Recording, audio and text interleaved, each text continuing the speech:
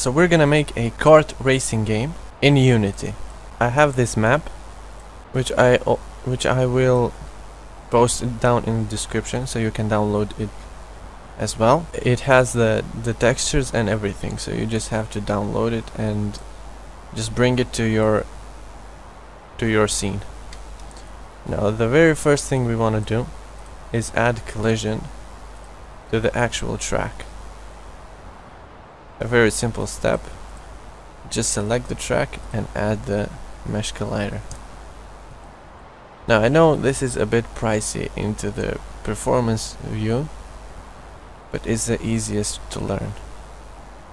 So what this is gonna do is make this track actually usable. So we don't just fall through it. Next step is to actually bring your model into the view. So if you see closely, this places the model. Wait, let me let me get close. If you look closely,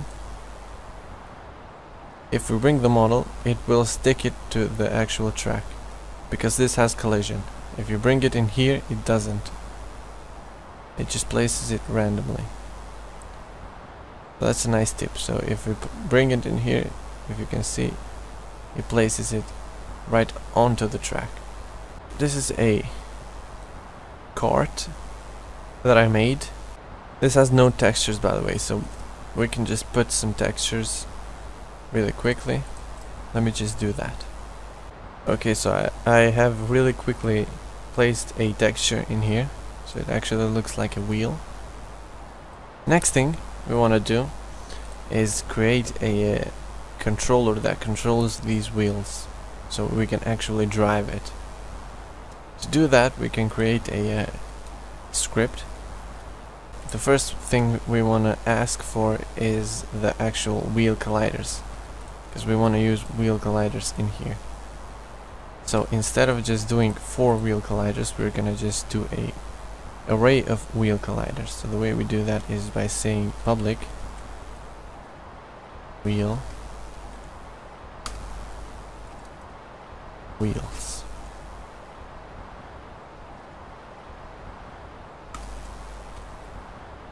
The next thing we want to do is add force to these wheel colliders. That's a very easy step. Instead of using update, we're going to use a fixed update. It's going to ruin the code. I'm going to make a new one. Fixed update. So the way we control these wheel colliders is by adding torque to them. To add torque to these wheel colliders we need a some kind of uh, input from the actual keyboard or the or a automatic start system. So for now we're, we're gonna do with the keyboard by pressing a W key. The way we do that is by saying if.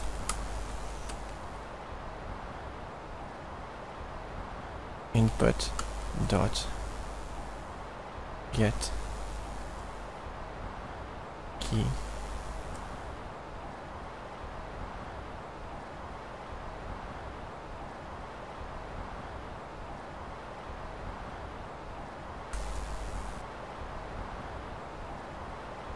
Alright, so once you make a if statement, checking if we press W, we're gonna make a for loop to loop through the wheel colliders. So the way you do that is by saying for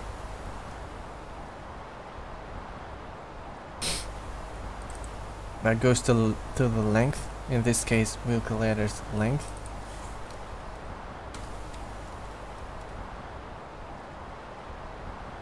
And i plus plus, so it actually so it uh, iterates through.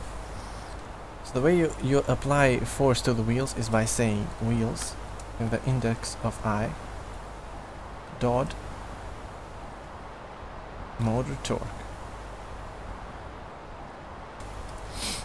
is equal to the torque. So we don't have a torque, we can add a uh, public float torque. We're gonna default this to 200. So every time we press W, it's gonna make the wheel torque equal to 200. Now else, we're gonna default it to zero. So we're gonna use the same loop.